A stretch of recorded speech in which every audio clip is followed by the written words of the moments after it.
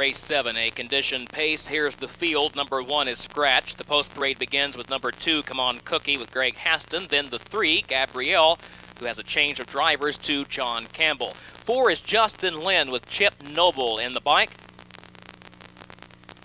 Number five, Wish I Was a Cowboy, Ron Steck. Rumba, number six, the driver Dale Bartley.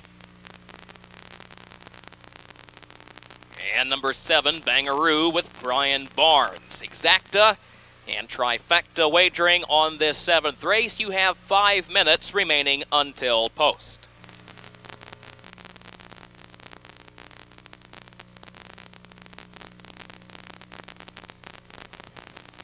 They're often pacing, and Gabrielle is first away, but Wish I Was a Cowboy is also there, and Come On Cookie gets out racing in the third spot, followed by Justin Lynn, Rumba, and Bangaroo will be the early trailer. Everyone starts to settle single file, with the exception of Wish I Was a Cowboy. He's still parked on the outside, now he moves up into the second spot. They approach the quarter mile mark, and Gabrielle has the lead by almost two. Wish I Was a Cowboy now drops in second. Come On Cookie third. Justin Lynn is fourth. 28 and 2 for the opening quarter. Everyone traveling single file onto the backstretch. Then Rumba, back next to last, is biding time near the back along with Bangaroo, who is just behind her as everyone continues to follow Gabrielle all the way down the backstretch toward the half. She's got the lead by about a length and a half now to Wish I Was a Cowboy traveling in second spot. And Come On Cookie is still there in third position. They've just reached the half in a time of 57 and 2.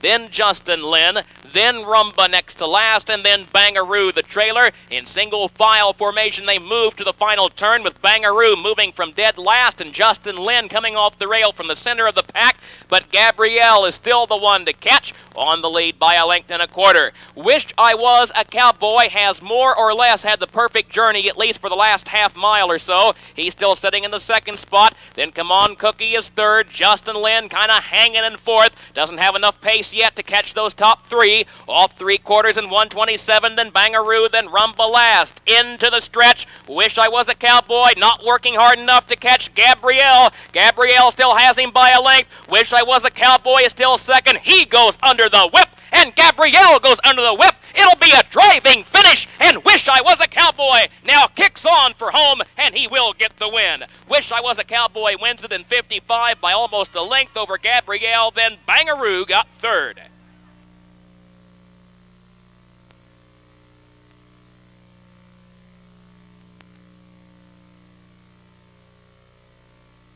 And in today's seventh race, number five, Wish I Was a Cowboy, was first. Number three, Gabrielle, was second. And number seven, Bangaroo, was third. 537, the unofficial trifecta, the time 155.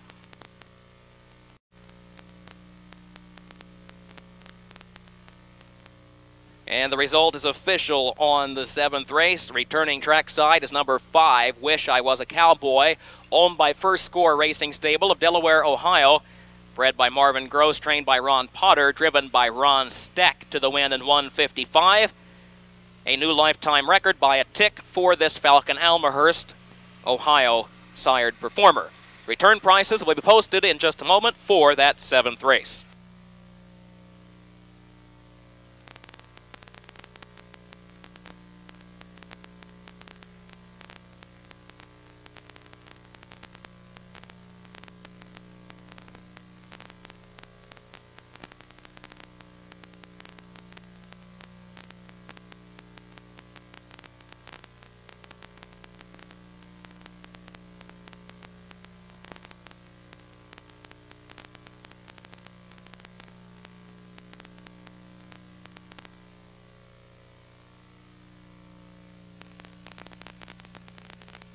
Return price is posted now with a 5-3 exacta, $8.20, 537 on the try, $13.20.